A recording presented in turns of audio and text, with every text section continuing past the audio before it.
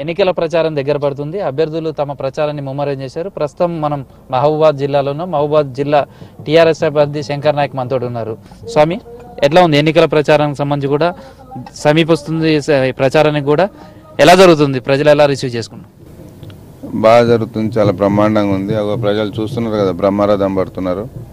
కేసీఆర్ గారు చేసిన పథకాలు కావచ్చు కేసీఆర్ గారు చేసిన అభివృద్ధి పనులు కావచ్చు మేము చేసిన పనులు కావచ్చు అవన్నీ చూసి అక్క చెల్లెలు అన్నదమ్ములు అంతా కోలాటాలతోటి బతుకమ్మలతోటి బోనాలతోటి స్వాగతం పలుకుతున్నారు. చాలా అద్భుతంగా ఉన్నది. ఏది ఏమైనా ప్రభుత్వం కారు గుర్తు కోటేస్తాం కేసీఆర్ సర్కార్ అంటున్నారు. సో పాలకులు గత పాలకులు గత ప్రభుత్వాలు ఎన్నడూ పేదవాళ్ళని పట్టించుకోలేదు. ఇలా రైతు సోదరుడికి ఇరవై నాలుగు గంటల కరెంట్ ఇస్తున్నాం. ఇలా రైతు గురించి ఆలోచించే ఏకైక ప్రభుత్వం తెలంగాణ ప్రభుత్వం. అంటే ప్రధానంగా మహబూబాద్కు సంబంధించి ఏ అంశాలు మీకు కలిసి వస్తాయి అనుకుంటున్నారు? అన్ని అంశాలు మీకు తెలుసు. శంకర్ నాయక్ సచ్చుడు మానుకోట జిల్లా అవడం అని జిల్లా సాధించుకున్నాం.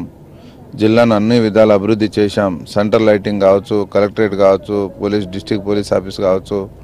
మైసమ్మ చెరువు కావచ్చు డబుల్ బెడ్రూమ్ కావచ్చు తండాలను గ్రామ పంచాయతీలు చేశాం తండాలకు అన్ని రోడ్లు వేసాం అన్నీ చేస్తున్నాం. ఇవాళ చరిత్రలో ఏ పాలకులు ఏ ప్రభుత్వాలు చేయలే. ఇవాళ కేసీఆర్ కిట్ కానీ కళ్యాణ లక్ష్మి కానీ ఇవాళ కాకతీయ మిషన్ తోటి చెరువులు కానీ కా మిషన్ భగీరథ మీద ఇంటింటికి మంచినీళ్ళు కానీ ఇవాళ రైతులకు రైతు బంధు రైతు పథకం కానీ రైతు బీమా పథకం కానీ ఎవరు ఆలోచించారు? ఇవాళ తండాలను గ్రామ పంచాయతీ చేసిన ఘనత మా కేసీఆర్ గారిది.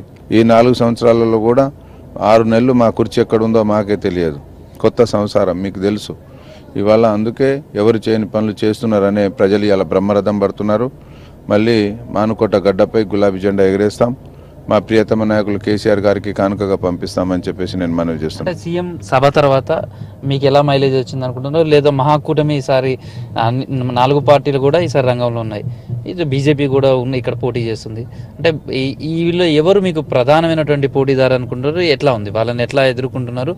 మీకు వాళ్ళకి కాకుండా మీకే ఎందుకు ఓటేయాలని మీరు ఓటర్లకు చెప్తారు. ఏం చెప్తారు? కాంగ్రెస్ ఏం చేసిందో చెప్పాను. టీడీపీ ఏం చేసిందో చెప్పాం. మేమేం చేశామో చెప్పాం.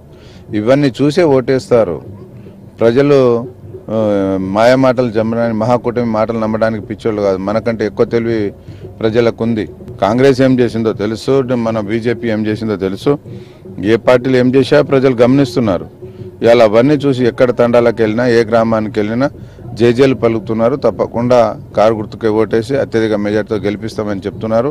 మాకు ఏ పార్టీలు పోటీ కాదు ఏ పార్టీలకు డిపాజిట్లు కూడా రావు. ఇది మొత్తంగా శంకర్ నాయక్ చేసినటువంటి అభివృద్ధి ఇది ప్రస్తుతం మహబాద్ జిల్లాకు సంబంధించిన టీఆర్ఎస్ అభ్యర్థి ప్రచారానికి సంబంధించిన విశేషాలు. కెమెరాన్ క్రాంతి కుమార్తో Krishnamohan V six news Mahabubabad నుంచి.